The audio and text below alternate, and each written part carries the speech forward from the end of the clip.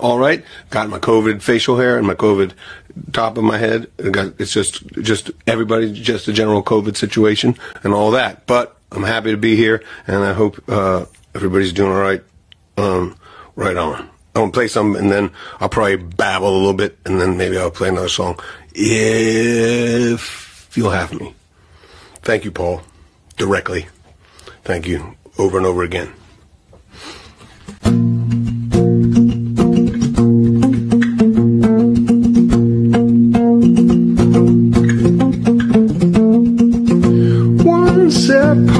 A time, when the world was just a pancake, fields would arise. That if we went too far, you'd fall. Yeah, but with the passage of time, the world became more of a ball, and we're as sure of that as we all once were the world was flat. Oh, so I wonder this is like billow smoke inside of my head. This little game where nothing is sure. Tell me why would I play by the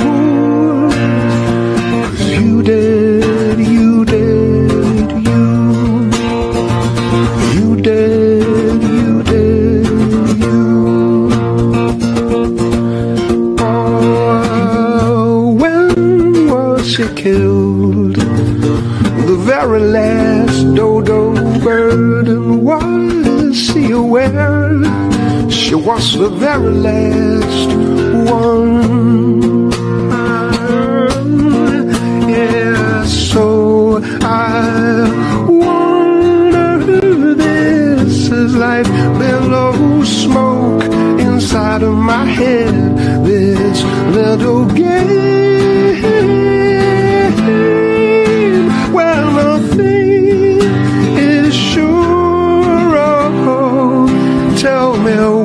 would you play by the rules? Oh, cause you did, you did, you.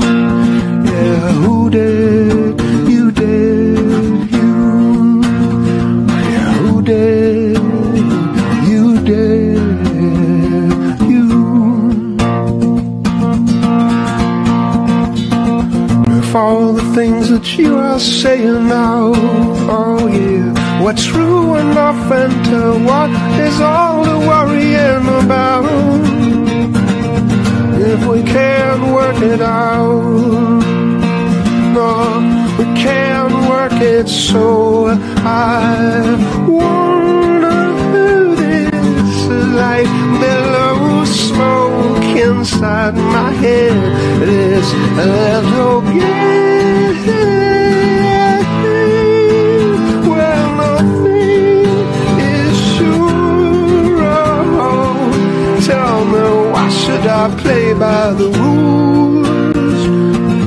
did? You did. You. Who did? You did. You. Who did? You did. You.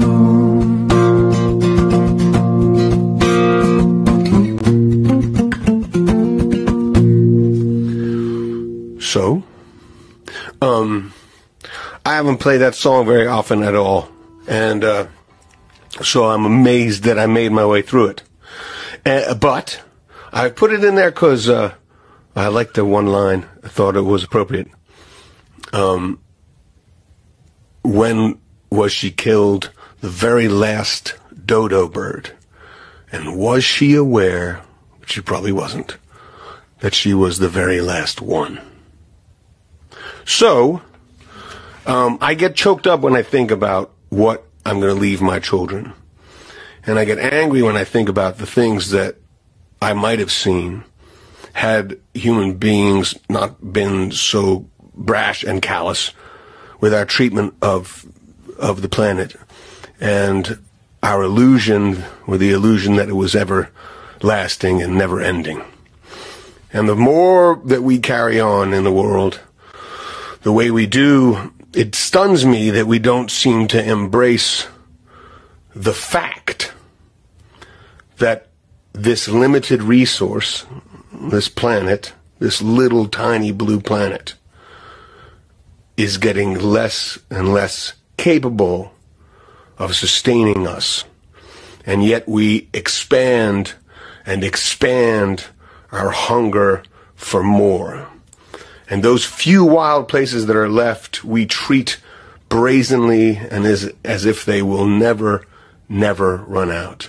Even though the lesson again and again and again is that they will. And they will quickly. And it's not to take away from what beautiful and amazing creatures we are. But if we really are as clever as we sometimes like to think, we should be working wholeheartedly to try and effect a change that will make it possible, possible for our children and our children's children to survive on this planet. That's what's at stake. You know, it's not a debate. Climate change isn't a debate. The burning planet is not a debate. All these things are real. And the rash way that we exploit our resources is unbelievable when you just look at it. Individually, we may be smart, but as a collective, boy, do we seem stupid. We behave as a group like cancer behaves. Eat, eat, eat, eat, eat until the host is devoured. I don't say we need to walk around and be sad, because that's pointless too. No matter how many tears we cry, it will not fix the problem. So, why do I obsess about rhinos, Paul? Um, Paul obsesses about rhinos too. I think they're a great example. They're not the brightest animals. They are no elephants. They also have funny noses, which is kind of accurate, but inaccurate really. But, uh, they do look funny, prehistoric. But they strike me because they are so in the balance of our collective consciousness. They are so in danger of being eradicated from the planet because of greed. That's it. It's not, and it's not the greed of the person who poaches. It's not the greed. It's just the, the greed across the planet. Somebody's going to pay a lot of money to get a horn of a rhino or the tusk of an elephant. But that's just sort of the bleeding sore in a way. We need to make the number one priority in the world taking care of this planet. So then we can